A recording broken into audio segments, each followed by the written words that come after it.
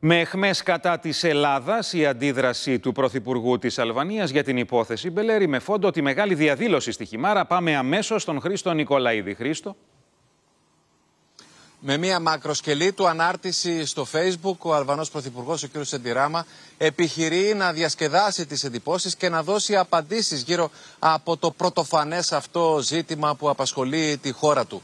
Ο κύριος Ράμα στην ανάρτησή του αυτή θέλει να ισχυριστεί ότι δεν έχει απολύτως καμία σχέση με την προφυλάκηση ο ίδιος, καθώς όπως τονίζει χαρακτηριστικά ο θεσμός της δικαιοσύνης είναι εντελώς ανεξάρτητος ε, στη χώρα του. Επίσης επιχειρεί να αποσυνδέσει το θέμα αυτό με το περιουσιακό το οποίο απασχολεί κυρίως τη Χιμάρα αλλά και μεγάλο μέρος της ελληνικής εθνικής μειονότητας λέγοντας χαρακτηριστικά, ισχυριζόμενος δηλαδή, ότι το περιουσιακό των Ελλήνων ε, ε, της των Ελλήνων ε, κατα, κατά την καταγωγή δεν έχει απολύτως καμία διαφορά με το περιουσιακό πρόβλημα που έχουν οι υπόλοιποι Αλβανοί πολίτες.